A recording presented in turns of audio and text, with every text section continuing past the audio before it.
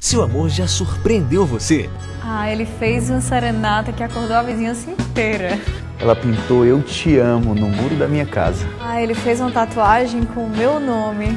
Ela fez uma carta de uns 100 metros pra mim.